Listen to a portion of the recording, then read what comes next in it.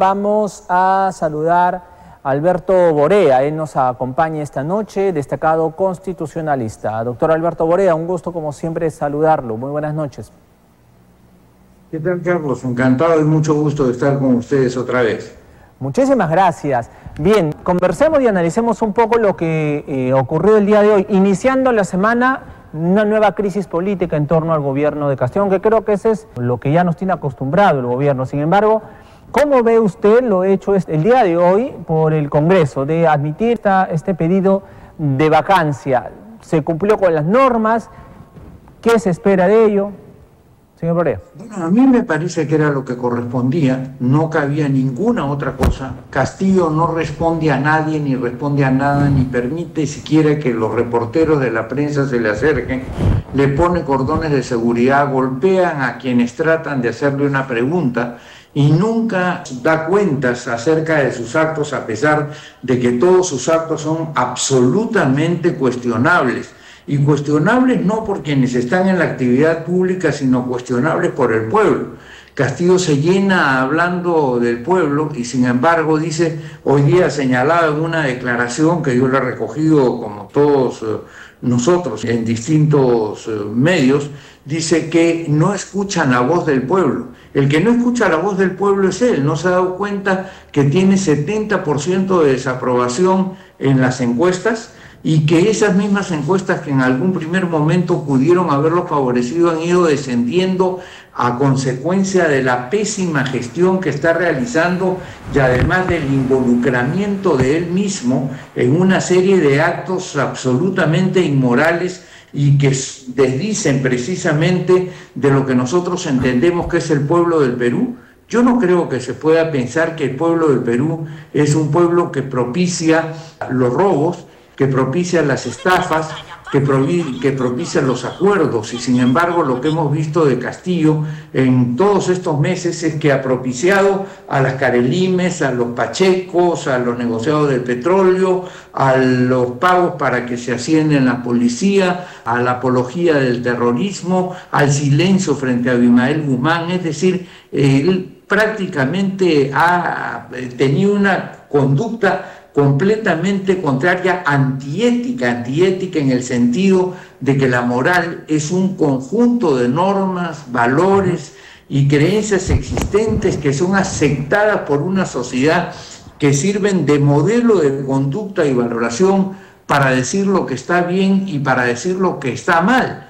Y nosotros no podemos creer que en el Perú, por ejemplo, estemos de acuerdo, los peruanos, en que está bien que cada vez que hay que designar ministros se designen no solamente ministros muy malos, ministros sin ninguna capacidad, ministros sin ninguna posibilidad de resolverle los problemas al país, sino además ministros con cuestionamientos éticos, como lo acabamos de ver ayer con respecto a, a quien acaban de nombrar ministro de Agricultura o de gran incapacidad aparente, digamos, desde el punto de vista profesional, como lo han señalado los médicos con relación al ministro de Salud, por decir solamente dos de los muchos casos.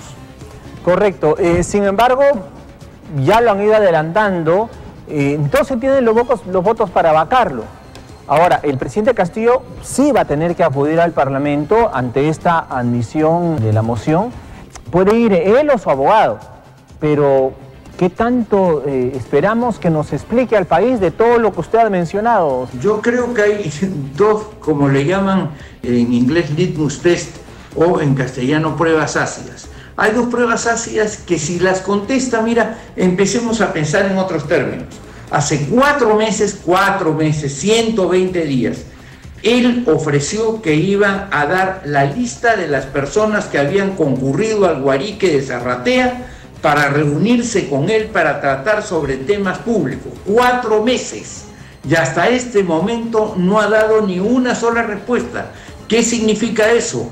Correrse del, del, pueblo y correrse de la sociedad y correrse de la justicia y esconderle a la justicia los datos que necesita para poder llegar a aquel punto en donde efectivamente se puede encontrar la culpabilidad de todo este conjunto de actos que en los cuales estoy seguro el pueblo en su inmensa mayoría no está de acuerdo. porque nosotros en un municipio pequeño, aunque fuera distrital, ¿no es verdad? No queremos que haya un alcalde que se reúna con algún contratista para comprar un tractor en un eh, restaurante privado y que eventualmente nosotros no sepamos nada, todos los demás de este distrito no sepan nada ni de cuál es el valor, ni de por qué se le escogió, ni de nada por el estilo. En consecuencia, esa es la primera, digamos, prueba hacia dame la lista que tú prometiste al país que lo ibas a decir. Y yo quiero recordarle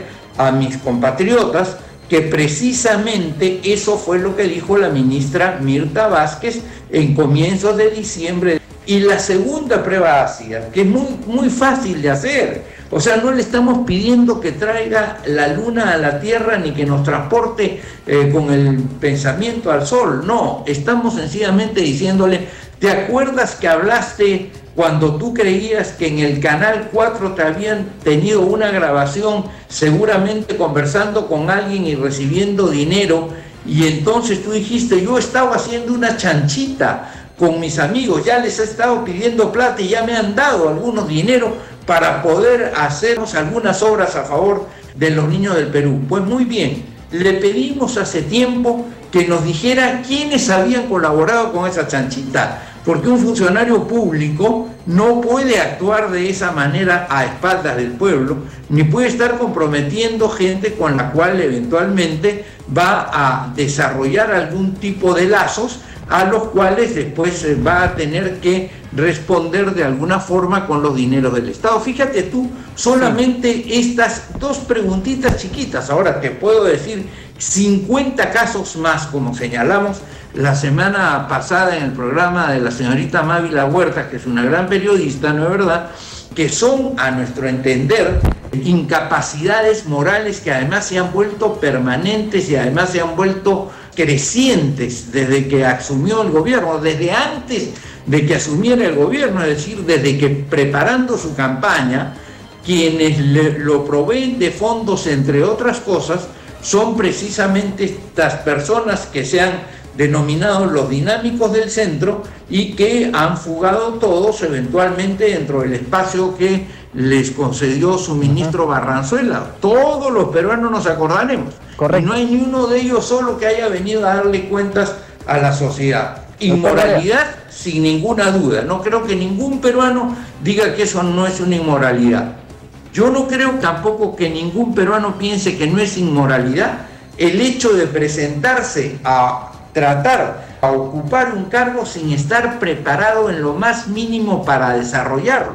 Ya lo hemos comentado en anterior eh, entrevista contigo, Carlos, que solamente un tipo absolutamente inescrupuloso se le podría, digamos, ocurrir irse y pasar por la puerta del Hospital Belén en Trujillo y decir, muy bien, yo me voy a meter a operar a todos los que tienen aquí problemas del corazón cuando ni siquiera ha seguido un curso de primeros auxilios.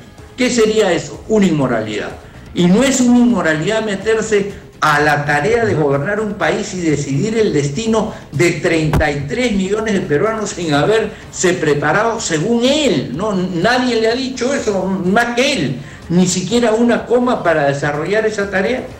Puedo seguir diciéndotelas. Por ejemplo, los peruanos ¿Tenemos alguna eh, identificación con el terrorismo o consideramos inmoral el terrorismo?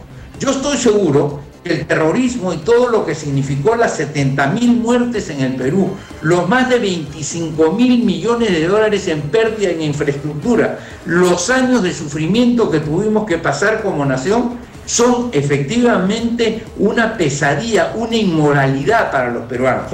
Y ha dicho Castillo una sola palabra, eh, digamos, execrando el fenómeno terrorista o condenando el tema de Abimael Guzmán. Correcto. En consecuencia, esa persona no tiene capacidad moral para gobernar el país. Eh, doctor Barea, eh, puedo coincidir plenamente con usted, sin embargo, y, coincidir que, de que hizo mal la tarea en estos siete meses, el gobierno de Castillo ha hecho pésimamente la tarea, no por la oposición, no por sus detractores, sino por él mismo, por las indecisiones o las terribles decisiones que tomó. Sin embargo, eh, eh, doctor Borea, y en una respuesta corta antes de irnos a la pausa, no hay los 87 votos para que proceda una vacancia. Y en eso también hay que ser realistas. No, Carlos.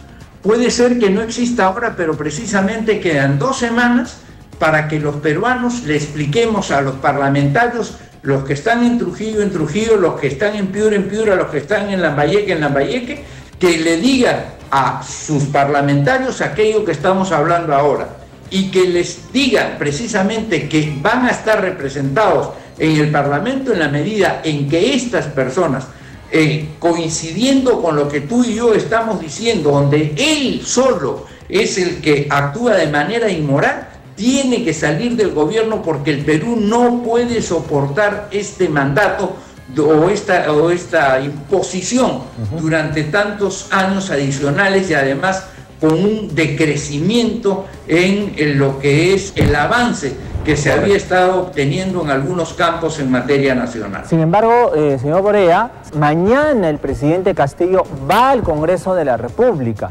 Él ha pedido asistir, de acuerdo pues también a la Constitución que le da toda esa prerrogativa. Sin embargo, el Congreso le ha emitido una misiva manifestándole que le adelante lo que va a decir y también diciéndole que no se refiera a nada de los temas que tienen relación en este caso con el proceso de vacancia. Eso tampoco es adecuado. O sea, no se le puede decir al presidente, usted es el entendido en las normas, de qué va a decir y restringirle algunos temas. ¿O sí? Bueno, en primer lugar, lo que me parece a mí absolutamente absurdo es que se pretenda decir que va a haber sorpresas en el mensaje de un presidente. Aquí no estamos jugando al gran bonetón, ni estamos jugando a las escondidas, ni los peruanos estamos eh, jugando a ver quién gana un juego de niños.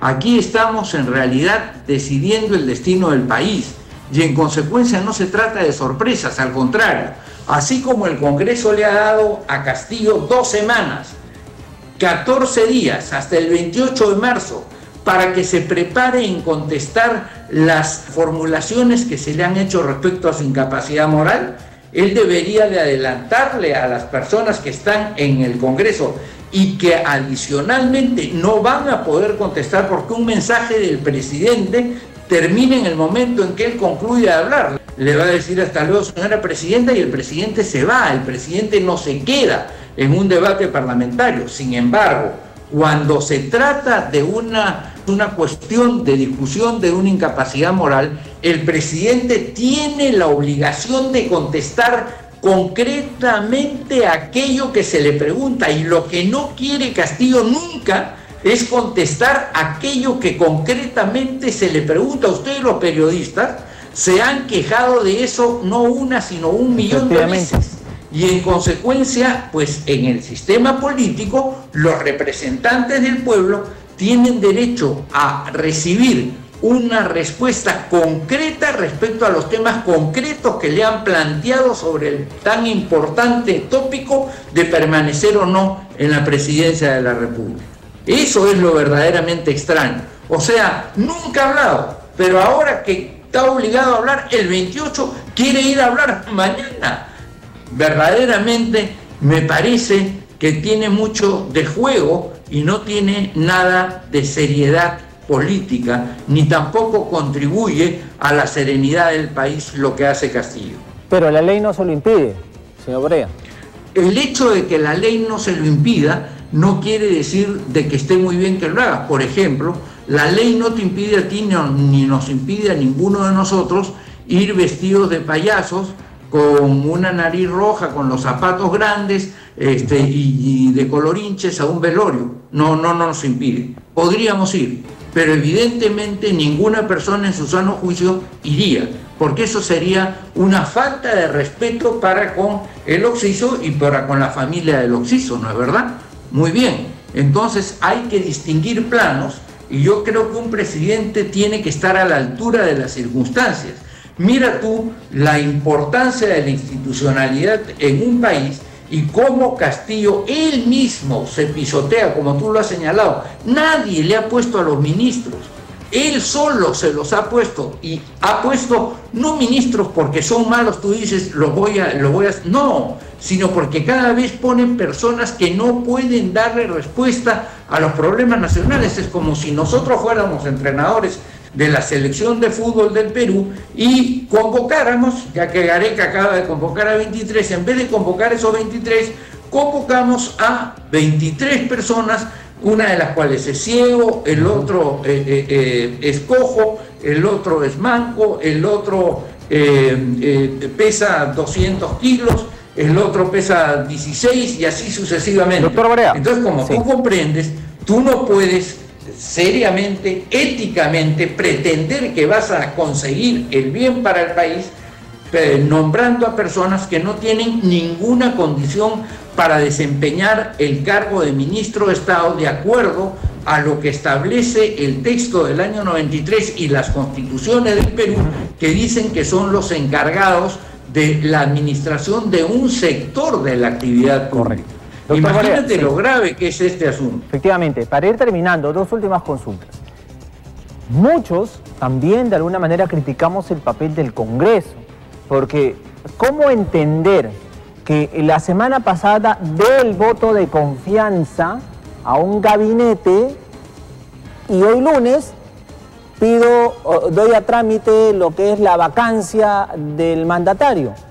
O sea, el Congreso también de alguna manera está jugando con los peruanos. O sea, tampoco es una institución que se diga coherente en sus acciones. ¿O qué piensa usted? Mira, el Congreso lo que está tratando de hacer es evitar esa mala, eh, digamos, esa mala redacción y esa mala decisión que se tomó en la constituyente, entre comillas, en el CCD de 1993, donde se estableció que a la segunda oportunidad en que tú le niegas confianza a un gabinete, eventualmente puede ser disuelto. Y eso es lo que está apuntando Castillo desde el día número uno, no solo Castillo, Castillo, Cerrón, el embajador de Cuba, que ya, si yo estuviese en el Congreso, ya hubiese pedido hace rato al Pleno que se declarase persona no grata a ese ciudadano que precisamente proviene de las canteras más totalitarias de un país totalitario que viene a una nación que está bregando con un, un grupo que precisamente tiene esos rasgos totalitarios. En consecuencia, esa es una de las cosas en las cuales el Congreso, a mi criterio, debería de mejorar, pero todo eso no implica una proscripción de su capacidad de poder decidir si la persona que está en el Palacio de Gobierno tiene o no autoridad moral permanente para poder seguir gobernando a la República del Perú y en consecuencia seguir distorsionando todo lo que hemos avanzado a pesar de todos nuestros problemas en los últimos años. Doctor Alberto Borea, le agradezco muchísimo, como siempre, por estar esta noche con nosotros y darnos, pues, obviamente, todo este análisis de la complicada situación que todavía vive en nuestro país. Tenemos una información también de último minuto. La Fiscalía está ya en plena acción de allanamiento al departamento en Madalena, en la Avenida Brasil, por un caso vinculado a los sobrinos del presidente Castillo. En estos instantes se encuentra ya desarrollándose toda esta intervención de allanamiento. Doctor Borea, como siempre, muchísimas gracias y continúa, como gracias usted dice, pero, gracias, Carlos, pero este debilitamiento de la figura presidencial minuto, día a día, hora a hora, se van desarrollando hechos que nos indican que eh, Castillo no se porta con franqueza y con transparencia, que es lo que el Perú lo que el pueblo del Perú espera precisamente de su presidente. ¿O acaso él no sabe lo que sucedía con sus sobrinos que estaban parados en la puerta de Zarratea todo el tiempo y que hoy día son ricos cuando antes, hace unos pocos meses, no lo eran? Ese es el tema. Efectivamente, efectivamente, en esa casa de Zarratea, en Breña, a donde también él acudía. Así es, efectivamente. Doctor Borea, muchísimas gracias. Un abrazo fuerte. Buenas noches. Gracias, Carlos. Muy gentil.